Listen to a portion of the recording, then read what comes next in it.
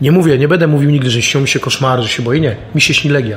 Mi się śnią, śnią koledzy co 2-3 dni. W sumie my funkcjonujemy w dwóch światach. Świat realny i świat nocny, gdzie wracamy do tego, co było. Jeżeli ludzie mnie zapytają, czy byłeś brutalny, czy to... Nie. Była wspaniała Gujana. Co tam jest, że każdy o tym marzy? Ty Dramatur- marzyłeś. dramaturgia alkoholu, alkoholu, styczność z narkotykami i brazylijskie prostytutki. Ja nie będę mógł tego puścić po 23 nawet.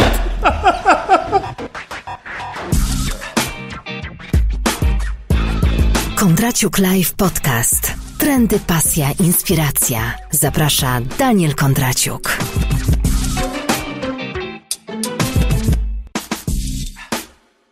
Gdyby ktoś mnie zapytał, jaki jest przepis na dobry i ciekawy wywiad, odpowiedziałbym, że nie wiem. Bo nie ma przepisu na coś, co jest całkowicie nieprzewidywalne, za każdym razem inne i wymaga ciągłych poszukiwań. Wiem tylko, że trzeba mieć szczęście do ludzi. To szczęście czasami mi się przytrafia, bo właśnie dzięki koledze Krzyśkowi Bieniakowi miałem okazję spotkać się z gościem, który przeżył w swoim życiu przygody i historie, które my znamy z filmów i książek o wielkich wojownikach, najemnikach czy awanturnikach.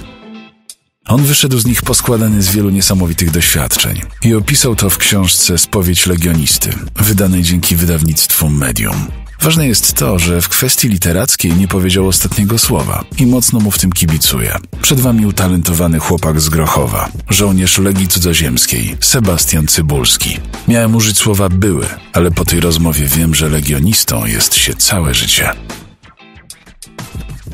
Dzień dobry Państwu, witamy bardzo serdecznie. To jest Sebastian Cybulski, filmowe nazwisko, a wiemy, że nie ma przypadków w życiu ani w filmie. E, Pisarz. mm, Początkujący. Początkujący, ale z ambicjami. Ambicje są. Tę książkę, e, jak już mówiłem, e, Sebastianowi przeczy- przeczytałem od deski do deski, co dosyć rzadko mi się zdarza, mm, ze względu na to, że proza w dzisiejszych czasach, tak jak same czasy, jest, jest dość podła, słaba i nawet żal wymieniać te tytuły, które się czytało. Ale to jest, tak jak ja odbieram tę książkę, to jest dopiero twoja wprawka do bycia pisarzem. Ja zacznę od końca. Czy ty, już na, na etapie pisania tej biografii, spo, spowiedzi legionisty, miałeś z tyłu głowy, że to będzie dopiero punkt wyjścia do twoich kolejnych powieści? Jak jest, Sebastian? Więc tak, powiem to inaczej. Na początku chciałem, żeby mi to po prostu zabrało czas, żebym nie, nie myślał o głupotach, żebym nie stracił nadziei, bo wiadomo, w pewnych warunkach dosyć, e, dosyć trudnych napisałem tą książkę. Po czym e, pomysł jako sam w sobie wyszedł już po tym, jak tą książkę wydałem. Ona leżała u mnie półtora roku w torbie, ten manuskrypt leżał mnie półtora roku w torbie, gdzie też przypadkiem kolega przez kolegę przekazał komuś innemu i okazało się, że trafiłem na wydawnictwo, które chciało mi pomóc, któremu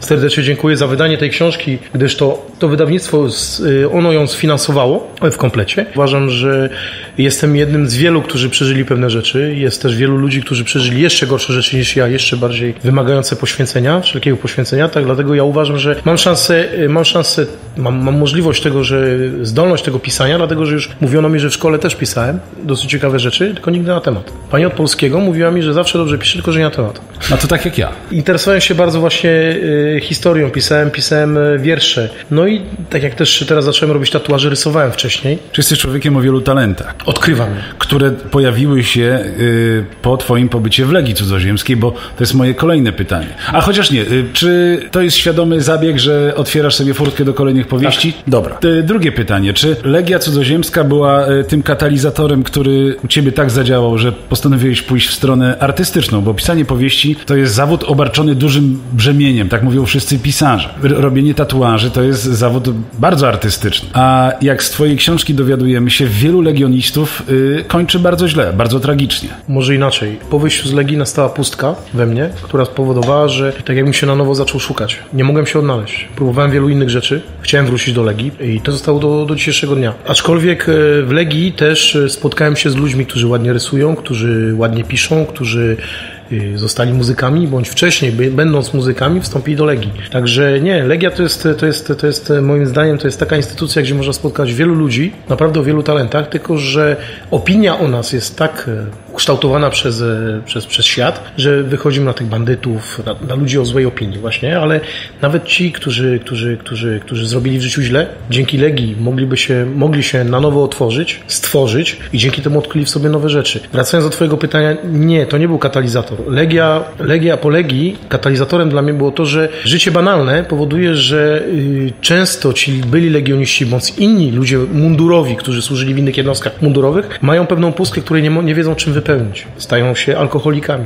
biorą narkotyki, robią bardzo złe rzeczy. Ja y, w pewnym sensie to moja żona mnie uratowała przed samotnością, przed tym wszystkim, z, moim, z moją córką. One spowodowały, że ta druga strona artystyczna się zaczęła we mnie odkrywać na nowo. Aczkolwiek no, miałem ku temu pewne takie talenty. Po prostu ja je zamknąłem w sobie, a nawet przestałem o nich myśleć. Katalizatorem jest właśnie ta pustka, która jest wytworzona po Legii, życia banalnego, życia takiego, że jesteśmy setką tysięcy takich samych ludzi, którzy są podobni do nas, myślą podobnie tak jak my. Nie chcę tego robić, dlatego wykorzystując to, co mi się przydarzyło teraz, e, objawienie z pisaniem, możliwości robienia tatuażu, chciałbym, żeby mi to pomogło po prostu pójść w innym kierunku. Z Twojej książki dowiedziałem się, że Legia legionistom wypełnia każdą sekundę ich życia. Tak. Formatuje ich jako nowych ludzi. Legia jest y, stylem życia, jest formą życia, nie jest... Ale dużo głębszą niż w takim potocznym rozumieniu tego słowa. Porównam to w ten sposób. Tak jak w książce zaznaczam, czy w moich blogach, nie uznaję Legii za lepszej od innych. Legia jest cięższa od innych służb, dlatego że jest tam wielu obcokrajowców, którzy żyją na obcej ziemi, którzy nie mają takich korzeni jak Francuzi rodowici, którzy wstępują do Legii. Jesteśmy oddzielni od naszych rodzin. Nie ma przy nas naszych przyjaciół. Tworzymy wszystko na nowo. Za dużo nie możemy mówić o tym, co przeżyliśmy, przeżyliśmy wcześniej. To powoduje, że jesteśmy tak jakby rzuceni sami sobie naprzeciwko różnych takich wyzwań. Legia nie jest lepsza bądź gorsza od innych służb, jest inna, jest cięższa, ze względu na to, że e, system, e, system powoduje, że jednak trzeba być silnym psychicznie, wytrzymać e, rozłąkę z rodziną, wytrzymać oddalenie od kraju, bo jakby nie było w Legii spotkałem wielu Polaków, którzy są naprawdę patriotami, którzy kochają swój kraj, którzy marzą, marzą o tym, żeby do niego wrócić. Przez pewne sytuacje nie mogli do niego wrócić, dlatego że Legia wcześniej była zakazana w Polsce jako służba. I uważam, że uważam, że właśnie ta, ta, ta, ta odległość od kraju, to nie tylko Polacy, spotkałem też i Afrykanerów z, z, z Republiki Południowej Afryki, którzy już nie mogą do siebie wrócić ze względu na nowy system, cierpią, piją, żyją w Legii i wiążą się tylko z Legią, dlatego że innej alternatywy dla nich nie ma. Na końcu książki jest rozdział rozdział, którego tutaj nie ma, a jest zdjęcie, które y, pokazuje, czyli ty po wyjściu z aresztu. Ja się nie wstydzę tego, co zrobiłem w życiu, nie wstydzę się tego, co przeżyłem. A jaka, no inaczej, jaka kara czeka legionistę po powrocie do Polski? To nie była kara za Legię. To nie była kara za Legię, to była... Zapłaciłem za to, co kiedyś robiłem przed Legią. Nie miałem innego wyjścia. Rodzice nie żyli. Yy, miałem świadomość tego, że muszę przeżyć i utrzymać brata. Także jeżeli ktokolwiek zada mi kiedykolwiek pytanie, czy się tego wstydzę, nie. Nie wstydzę się. Nie zabiłem, nie brałem narkotyków, nie zajmowałem się domami publicznymi. Robiłem, co mogłem zrobić, żeby przeżyć z moim bratem. Kiedy poczułem, że już moja misja jest wykonana, zdecydowałem się wyjechać y, do Legii. Nastąpiło dopiero w to w 96 roku, chciałem wyjechać wcześniej. Po czym ta sytuacja dogoniła mnie po tylu latach. E, zostałem ściągnięty do Polski. E, spędziłem e, parę miesięcy w aresztach śledczych, gdzie po to, żeby się nie zepsuć, po to, żeby, żeby nie zwariować, po to, żeby trzymać w sobie cały czas tą taką nadzieję, że mimo moich lat, bo to miałem 40 lat już wtedy, mimo mo moich lat nie zostanę z, z pustką, zacząłem pisać. Czy to był Twój sposób na przetrwanie tego trudnego czasu? Pisałem od rana do wieczora i kiedy już kończyłem, zaczynałem pisać od nowa. Czyli, Czyli napisałem ją dwa miesiące. Czyli dobrze powiedziałem, że twoje filmowe nazwisko Cybulski yy, też dotyczy twojej filmowej historii. Można by to tak nazwać. Ja czytałem fragmenty, które mi podesłałeś swoich kolejnych powieści i jeżeli piszesz je osobiście i, i, nie oszukuje, jeżeli Sebastian nie oszukuje, to znaczy, że ma talent, bo generalnie... Pisze je osobiście. Wielu celebrytów, wielu gwiazd y, wynajmuje do tego ghostwriterów, wiesz o tym. Powiem tak, tak jak zaznaczyłem, zanim ta książka została wydana, różne fragmenty tej książki wysłałem moim kolegom aktywnym, którzy są jeszcze w Legii, bądź którzy wyszli po Legii, dlatego że patrząc na Facebooka widzimy, że mamy bardzo dużo znajomych byłych legionistów, bądź legionistów jeszcze aktywnych. Nie mógłbym sobie pozwolić na to, żeby kłamać. Więc napisałem tą książkę i kiedy wysłałem e, pewne fragmenty tej książki, po których e, od, odpowiedzi dostałem pozytywne, stwierdziłem, że mogę ją dokończyć, mogę ją napisać. Nie pozwolę na to, nie pozwolę na to, że, żeby ktoś pisał za mnie tą książkę i tak jak tutaj przed chwilą tobie też zaznaczyłem, że pewna pani z innego wydawnictwa chciała mi narzucić pewien styl pisania książek, ja się na to nie zgodziłem. Ja muszę mieć głowę wolną, muszę się czuć natchniony i wtedy mogę pisać bez żadnego problemu. Druga książka, która będzie niedługo wydana, mam nadzieję, no wszystko już jest dogadane, nazywa się, y, tytuł, tytuł jej jest My Najemnicy. Jest to książka fikcyjna, zmieszana z realnością. W ten sposób później... Przewagą realności? Nie powiem. To jest moje drugie pytanie a propos tej książki, bo też uważam, że zrobiłeś to celowo, dając tam jedną barwną historię, jak bez paszportu przeleciałeś z Afryki do Europy, trafiłeś prawie do Polski, byłeś w Czechach, na Słowację, tak mówię skrótowo, i jeszcze tam wróciłeś. Ile takich historii ci się przydarzyło? Mi bardzo dużo. Ale mam kolegów, którym też się bardzo dużo takich historii przytrafiło. Znałem Litwinów, którzy dostali się do Legii, przepływają przez granicę polsko-niemiecką, przez rzekę, yy, wpław bez papierów. Niektórzy szli kilometrami piechotą, żeby dostać się do Legii. Także ja nie jestem jakimś wyłącznym takim małym przykładem tego. Jest wielu, ja jestem jednym z wielu, którzy, których było w tamtych czasach stać naprawdę na wiele, po to, żeby dotknąć tylko niewiele, żeby już być w tej legii, żeby... Ja miałem kolegę, który na przykład, dobrego kolegę, który na przykład powiedział, że on się zapnie łańcuchami do bramy, jak go nie przyjmą do legii. Także Skąd ta determinacja w, w człowieku, żeby się tam znaleźć? powiem Ci tak, do legii nie pojechałem dlatego, że uciekałem przed prawem. Ja stworzyłem wszystko tak, żeby po prostu wyjechać i nie wrócić. Bo bałem się, że mogę... Byłem zakochany. Bałem się, że mogę zdezerterować, żeby wrócić do kraju. Więc ja sobie te wszystkie mosty popaliłem po to, żeby nie móc wrócić. Determinacja jest taka, że dla nas wszystkich Legia jest takim wyzwaniem. Jest legendą. Każdy chce, większość chce się sprawdzić. Ja się nasłuchałem tych legend, będąc młodym chłopcem i wiesz, stąd wiesz, nasze spotkanie, jak zobaczyłem u naszego wspólnego kolegi, wiesz, książkę pod tytułem Spowiedź Legionisty, to od razu mnie to zainteresowało. Więc jest wiele książek, które dotyczą, które, które piszą, które omawiają temat Legii. Aczkolwiek e, dam Ci taki przykład. E, Mam znajomą, która kiedyś chodziła ze mną do szkoły podstawowej. Ona się do mnie odezwała na, na Facebooku. I ta dziewczyna przez rok czasu była z legionistą z Nimu. To w Nimie stacjonuje drugi pułk e, piechoty Legii Cudzoziemskiej i ona była przez rok czasu z tym chłopakiem. Po czym jakiś kolega do niej, na, ona na Grochowie mieszka teraz, po czym jakiś kolega do niej przybiegł i mówi słuchaj, Sebastian wydał książkę. Ja jej nie widziałem od szóstej klasy szkoły podstawowej. Dziewczyna się ze mną skontaktowała i przyznała mi się, że moja książka to była pierwsza książka, którą przeczytała całą. Cztery dni. Kupiła później też i drugą książkę, Tamtą przeczytała tylko 15 stron. Może dlatego, że tak jak rozmawialiśmy z kolegą, większość książek, ta książka we Francji by nie przeszła. Nie może być tam wydana? Nie przejdzie przez biuro Legii, bo Legia dysponuje biurem, cenzurą, która obserwuje, która nie pozwoli na to, żeby na przykład pisać o pułkowniku, który, który był pod wpływem tabletek uspokajających i przez praktycznie trzy dni dowodziłem pułkiem, bo mnie pytał, co ma robić. Są pewne rzeczy, które, na które by nie pozwolili. Aczkolwiek, jeżeli gloryfikujesz, nie Legię, Legia jako instytucja jest wspaniała, to ludzie ją psują. Jeżeli gloryfikujesz ludzi, cały czas piszesz na wspaniale, cudownie, pięknie, niesamowicie, książka wyjdzie od razu.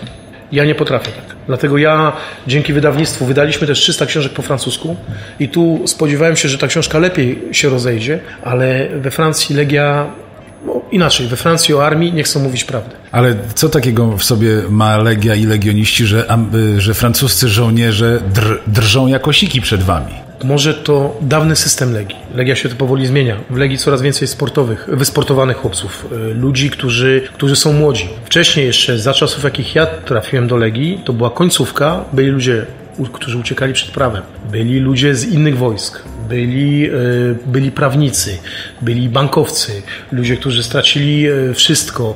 To była mieszanina ludzi, którzy mogli wnieść naprawdę wiele do Legii, ale wnieśli też z życia, które przeżyli wcześniej. Teraz mamy młodych chłopców, 18-19 lat. Co oni do tej Legii mogą wnieść? Nic. Nic. Oni tylko powielają to, co było, ale powielają to w sposób taki, który nie pozwala na to, żeby ten system Legii, żeby ta, ta dusza Legii funkcjonowała tak, jak funkcjonowała kiedyś. Kiedyś, jak miałeś ludzi z azylu politycznego, jak miałeś ludzi po więzieniu i tak dalej, którzy nie mieli innego wyjścia, jak im powiedziesz, ma- mają to zrobić, co by się nie stało, to miało być zrobione.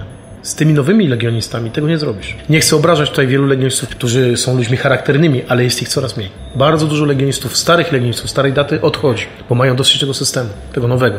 Wyjechałeś do Legii, bo chciałeś całkowicie zmienić swoje życie. Nie. Legia zmi- Ja o Legii marzyłem od dziecka. Kiedyś chcieliśmy sam razem do Legii jechać, zanim to wszystko się stało. Czyli to było twoje marzenie. Czyli to o, obalamy, obalamy mit y, krążący, że Legia przyciąga tych wszystkich, którzy chcą zamknąć y, swoje życie. Nie, nie obalamy mitu. Taki mit istnieje cały czas. To nawet nie mit, to jest prawda. Dlatego, że ja spotkałem się z ludźmi, którzy, którzy byli rozczarowani życiem, którzy byli poszukiwani przez, e, przez różne grupy przestępcze, przez policję i tak dalej. I oni w Legii znajdowali e, nową, podobną szansę. Ja przytoczę taki przykład jednego z sierżantów Francuzów, który w tamtych czasach stanął przed sądem i sąd mu powiedział, wybiera pan więzienie albo Legię. I on wybrał. Legię.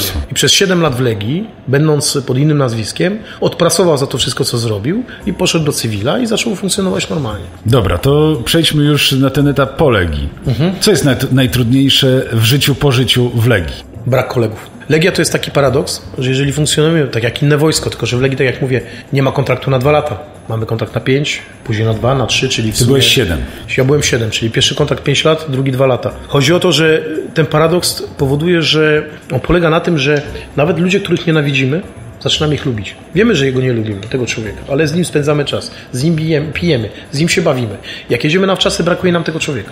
To jest paradoks tego, że jak ludzie wychodzą do cywila, po, pozostają po Legii, stają się normalnymi ludźmi, często stają się alkoholikami, popełniają samobójstwa, robią złe rzeczy, znajdujemy ich po złej stronie prawa. Był taki przykład, że spotkaliśmy się z legionistami, byłymi legionistami, którzy byli w Wybrzeżu Kości Słoniowej, byli z najemnikami e, po stronie e, liberyjskiej, którzy szanując tak bardzo Legię, odłożyli broń, powiedzieli, że oni przeciwko legionistom nie będą walczyć. Także w zależności od psychiki, ja powiem tak, wstępując do Legii, w szeregi Legii miałem jeszcze 26 lat. Można powiedzieć, że trochę doświadczony już byłem życiem. Wychodząc po 7 latach, nie wiedziałem, co się ze mną dzieje. A nie mogę sobie wyobrazić, co się dzieje z ludźmi, którzy wychodzą po 15-18. 7 lat tak mnie sformatowało, tak mnie zmieniło, że yy, moja żona zauważy że do tej pory, do tej pory mam pewne takie reakcje po tamtych czasach. Nie mówię, nie będę mówił nigdy, że śnią mi się koszmary, że się boję. Nie. Mi się śni Legia. Mi się śnią, śnią koledzy co 2-3 dni. W sumie my funkcjonujemy w dwóch światach. Świat realny i świat nocny, gdzie wracamy do tego, co było. Jeżeli ludzie mnie zapytają, czy byłeś brutalny, czy to... Nie. Była wspaniała Gujana, start rakiety, wspaniałe środowisko, klimat, dżungla, gdzie ludzie płacą za to, żeby to zobaczyć i byliśmy płaceni i byliśmy szczęśliwi tam. Byliśmy odcięci od cywilizacji, żyliśmy swoim życiem. My dla zwykłych Francuzów jesteśmy iluzją, jak, dla, tak jak oni dla nas. To ciekawe. I to jest straszne, bo my myślimy, tak jak na przykład w Polsce, legionista jest człowiekiem, ja powiem tak, nie ma wstydu na płacz. Trzeba umieć płakać. Prawdziwy mężczyzna powinien wiedzieć, kiedy, kiedy ma płakać. Zgoda. Zgadzam się. Zgadzam się z przedmówcą. Ależ oczywiście. Znalazłem bardzo zabawną wzmiankę o, o Polakach, że balowałeś, jak każdy zawodowy legionista, z ludźmi z całego świata, ale, ale z, z Polakami i tak się nie da napić e, kulturalnie. Nie da się napić. Powiem tak, nie, nie oceniając naszych, naszego narodu, jest mi czasami za niego wstyd. Dlatego, że y, były przypadki, gdzie wstydziliśmy się Polaków, których widzieliśmy. I widzisz, y, nie mówię, że jestem Francuzem, bo nie jestem, nie mówię, że to, że tamto. Ja nawet we Francji uważam się za Polaka. Szanuję ten kraj, dlatego, że tam żyję. Wiadomo, tak jak ktoś przyjeżdża do Polski, musi szanować ten kraj. Szanuję ten kraj, y, szanuję zasady, jakie tam funkcjonują, chociaż ich jest coraz mniej. Aczkolwiek, aczkolwiek y, jest problem, ja nie wiem, y, nie wiem, y, czy to jest wrodzone, czy to jest genetycznie jakieś zepsucie, ale tak, Ukraińcy, Rosjanie na ulicy nie zobaczysz. Słowaków, Czechów na ulicy nie zobaczysz. Polaków wszędzie na ulicy zobaczysz, tych bezdomnych. Nie wiem, nie wiem od czego to zależy. No i te takie totalne krytykowanie wszystkich dookoła. Czyli takie krytykanstwo, tak jak gdziekolwiek nie zajdziesz, to jeden na drugiego. Nie odzywaj się, żyj normalnie, przestań, yy, rób co do ciebie należy. Nie, a bo ten jest taki, bo tamten jest taki, bo ten zrobił to, ten. A zobacz jak ten Francuz wygląda i żyjesz u nich. Ja sobie nie pozwolę na to, żeby ich krytykować. Wielokrotnie mi ludzie mówili, Francuzi, powiedz coś na ten temat, jesteś długo z nami. Nie. Nawet jeżeli służyłem w Legii, służyłem dla Francji, nie uważam, że powinienem mieć prawo do tego, żeby cokolwiek krytykować. Ja robiłem to dlatego, że chciałem to robić, przysłużyłem się krajowi, ale yy, uważam, że... Druga jest jeszcze inna rzecz, to jest to, że jeżeli ty się odezwiesz, to cię zaraz któryś Francuz może wyskoczyć z tym, nie jesteś Francuzem, dlaczego się odzywasz? A to boli. A takich ludzi honorowych jak my, to bardzo boli. I człowiek nie wie, co ma zrobić ze sobą. Czyli najważniejsze y, y, cechy i, i, i wasze... Y, mm, Uważaliśmy się polską szlachtą. O to tak może głupio zabrzmi, ale nawet dobrze się zwracaliśmy uwagę na to, jak się ubieramy. Zwracaliśmy uwagę na to, jak, jak imprezujemy. Powiem Ci tak, w Gujanie na przykład, to tak odchodząc na przykład troszeczkę od tematu typowego Polaka. W Gujanie na przykład, jak były wojska francuskie, które przyjeżdżały na 4 miesiące, na misje 4 czteromiesięczne, były z nimi kobiety, bo to już była nowa armia, kobiety były profesjonalne. To wyobraź sobie, że dowiadywaliśmy się, że te kobiety przychodziły kursy we Francji, jak omijać i nie rozmawiać z legionistami. Dlatego, że jesteśmy najgorsi, bandytami, to, tamto zboczeńcami. Okazywało się, że one się bały wychodzić ze swoimi kolegami, wolały z nami przebywać, bo wiedziały, że my jako, bo legionista sam w sobie jest człowiekiem szanującym innych i ta kobieta jest szanowana. Tym bardziej, że mamy mało kontaktu z kobietą, więc cieszymy się nawet tym, żeby z nią posiedzieć, wypić sobie z nią, porozmawiać. I one wolały z nami wychodzić, bo się czuły bezpieczniej niż z nimi. I ze swoimi kolegami z wojska. A wracając do Polaków, nie wiem. Chciałem znaleźć odpowiedź na to, nie potrafię. Jest to ciekawe takie kulturowe jakby zjawisko, które no, no jest wszędzie widoczne. No. Powiem Ci tak, e, nawet względem polityki potrafimy się odróżnić, dlatego że prezydent Francji mówi, że Polacy pracują za pół pensji, a to jest nieprawda, bo ja znam e, kolegę, który ma firmę hydraulików, którzy pracują we Francji, oni za, za miliard dwa tysiące euro nie pracują. Tylko, że Polacy nigdy nie potrafili się zgrupować, być razem. Politycy robią swoje. Ani zgrupować, swoje. ani się porządnie napić kulturalnie. Też, bo mieliśmy imprezę w Gujanie, gdzie pierwsza impreza była, wyszła bardzo fajnie, bo była taka improwizowana, było bardzo fajnie. Następna impreza skończyła się bardzo źle. No właśnie do tego piję. Do Polacy tego usiedli na przykład siebie i zaczęli sobie mówić, co myślą, kto, skąd jest, jaki i tak dalej. A y, imprezowanie i nocne życie to jest y, stały element życia legionisty. O, tak. Jeżeli pozwolisz, przytoczę taki w książce był proszę. ten przykład. No. Przytoczę taki, taki fajny przykład, kiedy wyszedłem na miasto w nocy, o pierwszej w nocy, bo poszedłem sobie coś zjeść. I wpadłem na legionistę, mówi kapralu, kapralu, kapral chce się zabawić, to w Klub Legu, czyli Klub Leg to był wcześniej e, dom publiczny dla wojska, bo wracając do tego, wyjaśniając temat, do lat 80. armia francuska dysponowała domami publicznymi, które się nazywały pufy, w których po prostu były kobiety, prostytutki, którym się płacono, którym płacono, one były, zajmowali się nimi lekarze wojskowi i tak dalej, także yy, żołnierze nie mieli żadnego ryzyka i oni do nich chodzili, płacili im za to i korzystano z ich ZUS-u. Później zamknięto to, dlatego że coraz więcej, coraz bardziej do głosu zaczęły dochodzić kobiety, żony oficerów armii francuskiej, które są bardzo katolickie, które pochodzą z takich rodzin szlacheckich francuskich, gdzie zdarzało się, że oficer spał w jednym pokoju, żona spała w drugim. I później to zamieniono na klub Legę. Klub Legę to w obecnych czasach to jest taki, takie miejsce, gdzie legioniści płacą bardzo mało, mogą tam spędzić czas. No i tam czasami spędzano bardzo fajnie ten czas. I ja tam poszedłem, leżała dziewczyna na łóżku. Obok były prezerwatywy, szklanki z whisky, z rumem. Chłopak mówi, kapral, to co kapral chce, nie ma problemu, jak w sklepie. Czyli brałeś rum, piłeś, szedłeś, brałeś prezerwatywę, korzystałeś z kobietki i szedłeś dalej, ona sobie się z tobą napiła, i piłeś dalej i sobie wychodziłeś. Ale to był, zrozumiałem jedno, że to był system taki, który miał w nas spowodować coś takiego, że przez to my nie chcieliśmy iść do cywila. Bo mieliście wszystko. Mieliśmy wszystko. Na miejscu. Pod nosem. Pozwalano nam na pewne rzeczy, trzymając pewne bariery, których nie mogliśmy przekroczyć, do tego było i policja militarna, do tego było i więzienie i tak dalej. Ale z drugiej strony pozwalano nam na takie rzeczy, których e, no, w życiu normalnym byś nie zrobił. Więc jak człowiek jest do tego przyzwyczajony, robi takie rzeczy, to gdzie mu się później chce rodzinę zakładać? Gdzie mu się cokolwiek robić? Nie, rodziną jest Legia. I w tej Legii można robić wiele rzeczy. Teraz być może się to pozmieniało. Po dwudziestu paru latach myślę, że się dużo pozmieniało, ale, ale jeszcze takie pewne, pewne takie wspomnienia pozostały. Będą te wspomnienia w Twoich kolejnych książkach? Dobrze, to nie, nie uprzedzajmy faktów, nie uprzedzajmy faktów. Tutaj wynotowałem, że marzeniem każdego legionisty jest trzeci pułk piechoty Legii Cudzoziemskiej. Co ten pułk ma w sobie? W Gujanie. Co ten pułk ma w sobie? Co tam jest, że każdy o tym marzy? Dramatur- dramaturgia alkoholu, alkoholu, styczność z narkotykami i brazylijskie prostytutki. Ja nie będę mógł tego puścić po 23 nawet. Podam przykład. Są, są dwa pułki, yy, inaczej. Jest jeden pułk, gdzie jest bardzo dobrze płatny, już go prawie nie ma, już go na rzecz Amerykanów yy, pozostawiono. Był w Djibouti, 13 półpułk, yy, czyli demi-brygada, czy półbrygada Legii Cudzoziemskiej. W Djibouti kapral zarabiał 3,5 tysiąca euro, plus premię. Ale był pustynia, było strasznie. Ale tam każdy chciał jechać dla pieniędzy. Do Gujany każdy jeździł, dlatego że tak już mówiąc poważnie, dlatego że klimat, ambians był inny. Ludzie się inaczej rozumieli. Poświęcali się pewnym rzeczom, yy, wiedząc, że tyle pieniędzy nie zarobią. Przede wszystkim przede wszystkim e, ta dżungla. Non-stop e, kursy komando w różnych krajach, gdzie, gdzie funkcjonowała taka determinacja, żeby się pokazać, kto jest lepszym.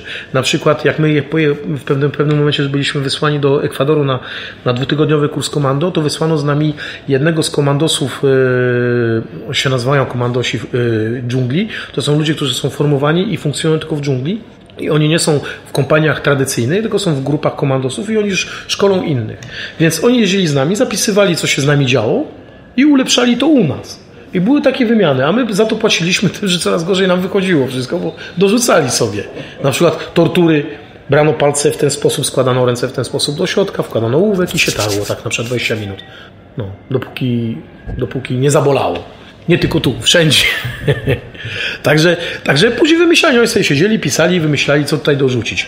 W każdym razie Gujana, Gujana, tak mówiąc poważnie, to wspaniały pułk, dlatego że mamy do czynienia z, z rakietami. No ja byłem szczęśliwy, jak widziałem, jak Ariane 5 leci w, w kosmos. Ludzie płacą za to, żeby to zobaczyć. E, e, Flora, fauna. E, Byliśmy na tydzień w Brazylii, było coś niesamowitego.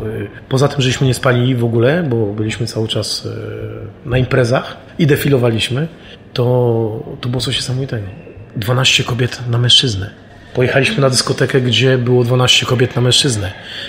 Bramkarz wychodził i wybierał najładniejsze kobiety, które mogły wejść na dyskotekę. Kobiety płaciły dwa razy więcej niż my.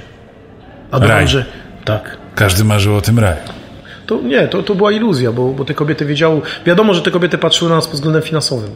Jesteś stały, jesteś żołnierzem, jesteś stały dlatego, że masz pieniądze. I dużo, tutaj mówiąc poważnie, dużo żołnierzy wpadało w taką pułapkę z tymi kobietami, wracało do Francji. Słuchasz Kondraciuk Live Podcast.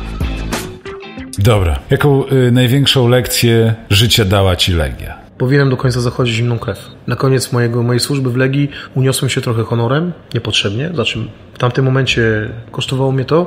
Tyle, że zamiast zostać w tej Legii do końca, o której cały czas marzyłem i później też cierpiałem przez to, uniosłem się honorem, nie, nie byłem, e, nie spojrzałem na to w inny sposób, zapominając o tym, że jestem odpowiedzialny za swoje życie, po prostu ta duma w pewnym momencie tak się, tak się, tak się, tak mnie wypełniła, że zamiast decydować, podjąć decyzję inaczej, uległem, uległem, uległem, yy, uległem emocjom, które doprowadziły mnie do tego, że z tej Legii musiałem odejść. I wyrwałeś po prostu, podpisując y, kwit, y, wyrywałeś dokument o tym, Tak. że możesz zostać na stałe legalnie we to było coś Francji. takiego, dosłownie No. y, kapral, starszy kapral trzymał papier, ja trzymałem drugi papier i to normalnie było coś takiego, patrzyliśmy sobie w oczy, który, któremu da ten papier. I y, wychodząc do cywila, trafiając do Toulouse, gdzie później zacząłem y, nowe życie, analizuję sobie do dzisiaj, dosłownie do dzisiaj sobie to analizuję i pluję sobie w brodę, dlatego że, no nie wiem, może bym nie żył, może bym był alkoholikiem, nie wiem, no myślę, że nie, ale pluję sobie w brodę, że zrobiłem ten krok i tak jak nie żałuję rzeczy, które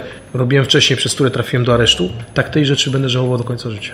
Że nie zachowałeś zimnej krwi i nie nie, niepotrzebnie uniosłeś się y, honorem w... Analizując później to, co mimo wszystko mogłem uznać za karę, przeniesienie do innego pułku, które mogło mi otworzyć, mimo wszystko, mogło mi otworzyć później nowy, nowy, Bo nowy świat. próbowałeś wrócić do Legii. Tak, próbowałem, ale po pewnej, sytuacji, po pewnej sytuacji z pewnym adjutantem, z pewnym e, wyższym rangą e, podoficerem, zrozumiałem, że dla mnie tam już miejsca nie ma, będą mnie traktowali jak, e, jak bezdomnego, jak człowieka, który, który wrócił znikąd i który sobie nie dał rady w życiu, bo ja też kiedyś taki byłem. My, dopóki z Legii nie wyszedłem, patrzyłem na ludzi, którzy wracają do Legii bardzo źle. Słuchaj, y, w Łowcy Androidów y, głos z reklamy zachęca do wyprawy do, do ziemskich kolonii po nowe życie i po nowe przygody. To jest ide, ide, identycznie jak y, w Legii Cudzoziemskiej. Czy tam jest tak teraz, tak jak było kiedyś? Przygoda, Nie jest. wyprawa, kolonie. Przy, przygoda, wyprawa jest. Już nie ma tego systemu, który był wcześniej, a za to teraz mają więcej wojen.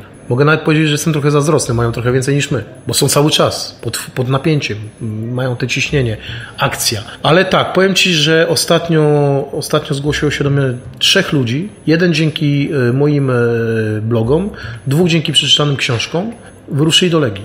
Podziękowali mi, mam z nimi kontakt. Uważam, że jestem odpowiedzialny za to, żeby się z nimi skontaktować, dlatego że jeżeli napisałem tą książkę, to jeżeli człowiek do mnie pisze, muszę do niego zadzwonić. Tak jak my używamy Messengera, żeby się skontaktować, chciałem usłyszeć, co oni o tym myślą. Nie pisać, usłyszeć. I sprawiło mi to wielką przyjemność, dlatego że chłopcy mi podziękowali, pojechali do Legii i mam nadzieję, że będą służyć. Dobra, y, wiemy jak Legia zmienia, co robi z człowiekiem, a co robi z człowiekiem napisanie książki o tym.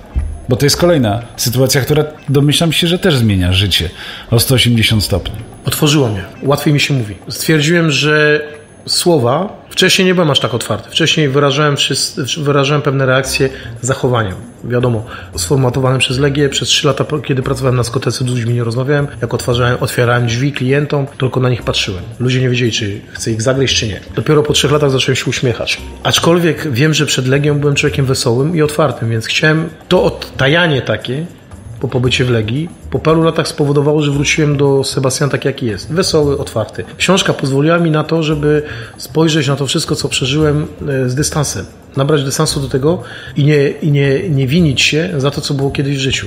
Powiedziałem, ludzie albo mnie zaakceptują, albo mnie nie zaakceptują. Ja nie będę zmieniał mojej prawdy, mojego życia. Jest takie, jakie jest. Albo ludzie mnie wezmą, jakim jestem, albo nie. No dobra, to inaczej zapytam. E, co Legia daje człowiekowi, a co mu zabiera? Jednym daje, jednym zabiera. Co może dać? Młodym ludziom, którzy przyjeżdżają do Legii, może dać przyszłość. To już nawet mówiąc o, o sprawach ekonomicznych, jeżeli finansowych, jeżeli e, dany chłop, chłopak, mężczyzna, młody zdecyduje się pójść do Legii, to jeżeli będzie trzymał tego, tych rad, które ja dałem tym chłopcom, którzy poszli, to w tych naszych ciężkich, dziwnych czasach ma szansę zarobić pieniądze, zwiedzić świat i w nieznanym świecie, w nieznanym kraju, nie kończąc nawet szkoły, może daleko zajść. Co zabiera? Zabiera osobowość. Takie charaktery jak mój i innych moich kolegów w Legii mają ciężko. Wspomniany przez nas wcześniej Mieczysław Zapiór kiedyś na Mokotowskiej powiedział mi, że mam sztyw, za sztywny kark dla Legii i ja po dwóch latach wrócę. Wytrzymałem 7 lat i ten sztywny kark odezwał się po 7 latach. Nie życzę tego innym. Dlatego y, co Legia jeszcze zabiera? Legia jest rodziną, ale nie dla rodziny Legii legionisty. Legia jest rodziną względem rodziny, względem tych ludzi, którzy tam są. I to, to nie jest tak, takie słowo, że to jest rodzina prawdziwa. Nie. Tak jak wszędzie istnieją ciosy poniżej pasa, istnieje No piszesz o tym, że trudno, trudno mieć zaufanie do oficerów w Legii. Oni żyją w innym świecie. Oni żyją w innym świecie. Oni nie przeszli takiego początku Legii jak my. Oni są wyznaczani względem stopni, e, względem pozycji, które zdobyli, e, stopni, które zdobyli w szkole, która się nazywa San Siro, szkoła dla oficerów. I e, jakie miejsce zdobędą tam w klasyfikacji, takie otrzymują miejsce, tylko że, tylko że właśnie tak jak u nas szkoły oficerskie, tak, tam sam, tak samo tam, tylko polega to na tym, że ci najlepsi oficerowie dostają służby w Legii bądź spadochroniarzach francuskich. Tylko, że Legia daje im to, że oni mogą z nami robić to, czego z żołnierzami normalnymi nie zrobią. Mogą z nami eksperymentować. Teraz zaczyna się to zmieniać, ale uważam, że to, co się teraz zaczyna zmieniać, tworzy to, że ta Legia już nie jest taka, jaka była. Wchodząc do Legii marzyłeś o tym, żeby mieć białe kepi. A o czym marzysz po wyjściu z Legii? Żeby udowodnić sobie, że jesteśmy w stanie poza Legią zrobić cokolwiek w życiu. Że nie staniemy się człowiekiem banalnym. Dlatego widziałem często ludzi, którzy przyjeżdżali do nas na święto Legii, specjalnie ubierali się w krawaty i mówili, że mają firmy ochroniarskie, że to, że tamto. Okazywało się, że byli zwykłymi agentami ochrony, tylko że przyjeżdżali w ten dzień, chcieli pokazać, że coś osiągnęli, bo wiedzieli, że w sumie nie mają nic. To jest, to jest choroba wszystkich. Osiągnąć coś, nie będąc banalnym. Bo jakby nie było w Legii, w Legii jesteśmy banalnymi, bo jest nas 8 tysięcy, a dla całego świata nie jesteśmy banalnymi. Jesteśmy inni, jesteśmy marzeniem, jesteśmy niebezpieczeństwem, jesteśmy no, no, no, wszelkiego typu opisem człowieka, ale, y, ale, ale, ale to powoduje, że to, to od nas wymaga czegośkolwiek więcej i niewielu, nie, niewielu się udaje. Mi się udało, mam kolegów, którym się nie udało, miałem kolegę, który popełnił samobójstwo, skończył w samochodzie bezdomny, jako bezdomny z psem, zapił się na śmierć, był sierżantem. Także yy, ciśnienie jest bardzo duże, dlatego że wychodząc z Legii uważamy, że ludzie nas przyjmą jako bohaterów. Nie, nie to, że będą nam czyścić buty, otwierać drzwi, ale będą nas szanować za to, kim jesteśmy. I tu zderzamy się z rzeczywistością. Francuzi mają nas gdzieś. Gdyby taka formacja istniała w Polsce, bylibyśmy wspaniali. I tu wracając jeszcze do tego, my po, po Legii, chcąc służyć też w Wojsku Polskim, jesteśmy też traktowani jako pariasi, odrzucani. Dlatego, że jest pewnego rodzaju zazdrość. A my tej zazdrości nie chcemy tworzyć, chcemy pomóc. Chcemy robić dalej coś, y, co nam spełni y, nasze marzenia. I to nie tylko w armii polskiej, w jakiejkolwiek innej armii. Jeżeli legioniści idą, oprócz armii francuskiej, bo armia francuska przyjmuje nas bardzo dobrze, jesteśmy traktowani na marginesie. I to powoduje, że jesteśmy sami pozostawieni sami sobie. To na koniec. Dlaczego nasi widzowie, nasi słuchacze powinni przeczytać Twoją książkę? Żeby żeby porównać legendy z prawdą, tym bardziej, tak jak zaznaczyłem, moja książka została wydana, zanim została wydana, wysłałem fragmenty tej książki moim kolegom, którzy służyli bądź służą jeszcze w Legii, którzy, którzy są jakby świadkami tego, co przeżyłem i mogli to potwierdzić. Dla słuchaczy, dla czytelników mojej książki wystarczy spojrzeć e, do mnie na Facebooka, zajrzeć. Mam bardzo dużo znajomych, którzy są nadal w Legii bądź byli, którzy zawsze mogą potwierdzić, że to jest prawda. Dlaczego? Dlatego, że ta prawda jest też bardziej brutalna niż legenda. Prawda jest jeszcze bardziej brutalna niż legenda, dlatego że w sumie chodzi o to, że tak jak zaznaczyliśmy, Legia nie jest służbą wojsku, Legia jest stylem życia, którego jest ciężko się otrząsnąć. Bardzo Ci dziękuję. Za przyjemność po mojej stronie. Słuchasz Kondraciuk Live Podcast. Jakieś pytania, których nie zadałem, chciałbyś usłyszeć albo coś dodać? Nie, uważam, że wyczerpałeś temat dosyć. dosyć... E, Staram się zawsze zostawić niedosy, takie na 75%, żeby mieć ewentualnie za jakiś czas, wiesz, do czego wrócić. Dlaczego ten niedosyt? Dlatego ten niedosyt jest w tej książce. No. Ale następna będzie e, prawda z fikcją w sensie e, beletrystyki przygodowej e, już nie, tak. o, nie o sobie, tylko tak. na podstawie swoich przygód. O. Tak, tak. I mogę Ci powiedzieć jeszcze, że też pozwoliłem sobie wysłać parę fragmentów moim kolegom. Dobrze się to czyta. Którzy, którzy potwierdzili, że sytuacje na przykład walk które tam opisałem, różne tortur, bardzo realistyczne. Są. Nawet moja żona, czytając tą książkę, zaczęła sobie zadawać pytania. Czy tak było naprawdę? Tak. Słuchajcie, to, to, to przy innej okazji, jak będziesz słuchaj, startował do, do, do nagrody, wiesz, Nobla, do nagrody, wiesz, Armii Francuskiej, Armia francuska chociaż- raczej nie. albo chociaż do nagrody literackiej Nike. Nagroda ludzi. Chciałbym, żebyś zostawił tutaj swój autograf. Już. Bardzo cię proszę, a, a wam bardzo dziękuję, że oglądaliście, słuchaliście. No i salut, jak się mówi w, w Legii Cudzoziemskiej. Pozdrowienie. Powiem po gujańsku, po, po, po, w słowie trzeciego pułku piechoty. Selwa. Selwa. Dzięki. Twoje zdanie jest ważne. Zostaw komentarz, opinię albo recenzję. Dziękuję.